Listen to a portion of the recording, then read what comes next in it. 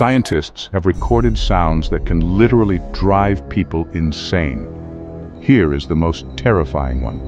In 1997, the National Oceanic and Atmospheric Administration detected an ultra-low frequency sound in the Pacific Ocean called the bloop. It was louder than any known animal could produce, and the pattern suggested something massive and alive. But that is not the worst one. In 2012, researchers in Antarctica recorded what they called the hum, a 14 hertz frequency that caused immediate panic attacks, hallucinations, and led three researchers to abandon the station. Infrasound below 20 hertz cannot be consciously heard, but your brain processes it as danger.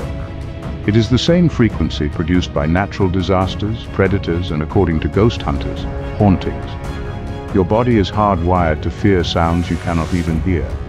Movie theaters use infrasound to make horror scenes more terrifying, and you never even know it is there.